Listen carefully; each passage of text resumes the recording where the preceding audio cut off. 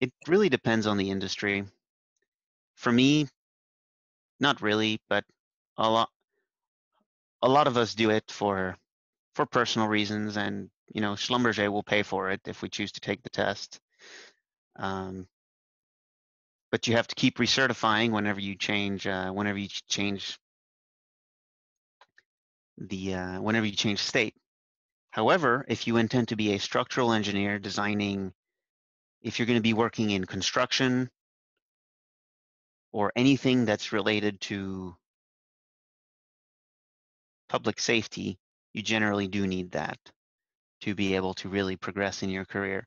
So my uh, my advice to you is take the FE exam while you are fresh from school.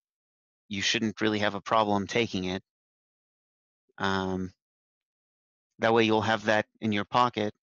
If you if you decide that five years later you really do want that PE, go ahead and take the test. You know, study up for it and take the test, rather than finding yourself. Uh, and if you see that in your industry or in your career path it's not useful, you don't really need to bother unless you want to. Uh, but take the FE exam. That's that's the simple answer. Mm-hmm.